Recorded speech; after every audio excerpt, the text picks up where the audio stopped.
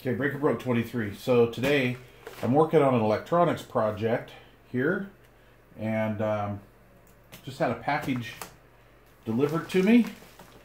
Pretty excited about this. Been waiting for this for a few days. Super stoked, actually.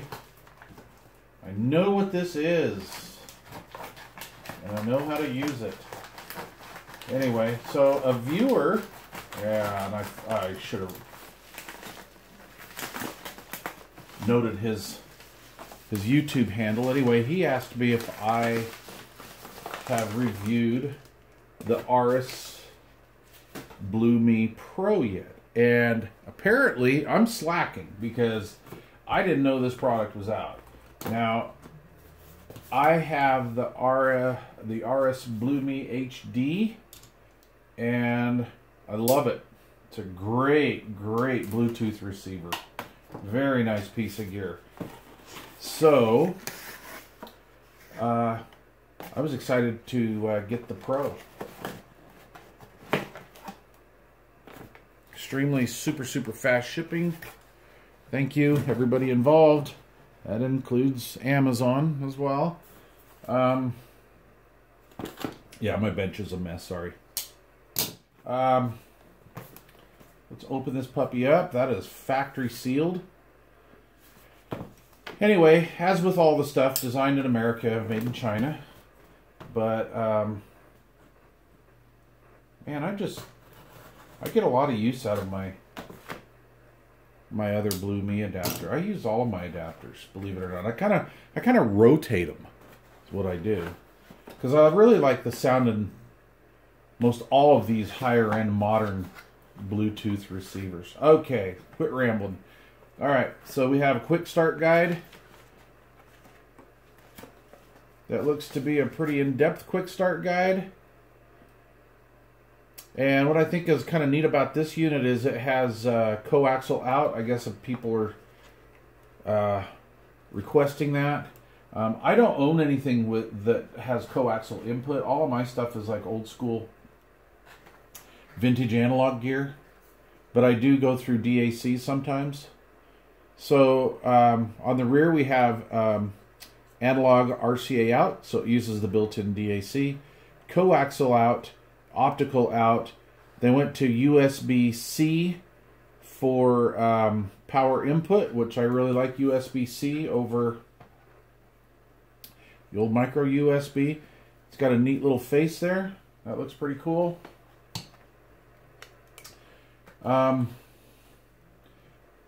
you know, a decent, uh, decent RCA. There's our USB. We have um, auxiliary to, uh, let's see, 3.5 millimeter auxiliary uh, female to RCA. That's interesting. Oh, cool. Some little feet to put on there. That's optional, so you can put your own little feet on there.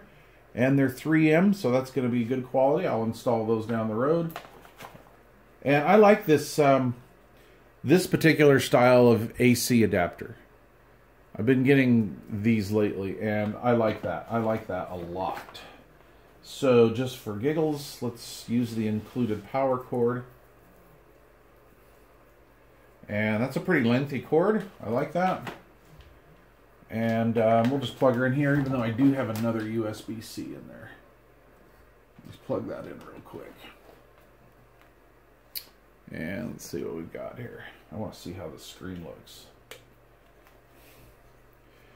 Let's turn this light off, maybe. Let's see if we can get a grip on that. All right. It's into pairing. So that's not an overly bright light. Um, you can read it, but um, I'd like to maybe see that just a tad brighter. But that being said, that's not going to be annoying at night. So though, when you're when you're going when you're listening or you're having those nighttime sessions, we have a button over here, a multifunction button. I'm going to assume I have not read the instructions, so we're just winging it. It is a power off button. Okay. I mean, that's the sign for it, right? The universal sign. But um, we'll push and hold just for a couple seconds. It's already in pairing mode, so it's like what I would call auto pairing. But it does, this is metal too, by the way. This is aluminum. a little detail line in there. I'm sure that's probably where they clamshell it together. But um, it's a pretty solid little piece of gear. That's an interesting styling, I, I believe. Uh, let me just make sure, before I sign off on this video, let me just make sure what we're doing here.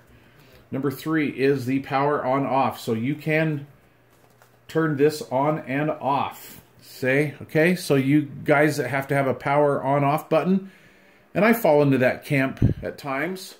This is um, this is a nice option for you. So cool. All right, I'm on it. I'm going to hook this up today and start demoing it. So um, as I'm looking this out of out of frame, of course, and out of light, um, that display is totally readable. And I've got you know a little bit of lighting going on here in the room, but um, what I'd like to see companies do is like an auto an auto sensing feature or something. So in the daytime, it's kind of bright, and as you cut down the light um, in your or, or, your room light, they they uh, cut down as well. But I think that's a happy overall medium, so I'm cool with that.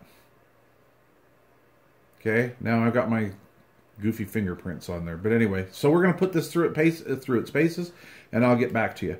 This is the RS Blue Me Pro. Very cool. Weighty. I like that. It's weighty. It's, I don't know, I don't know, it's maybe a pound. That This weighs almost as much as the Zen Blue. Anyway, I'll get back to you. Thanks for watching.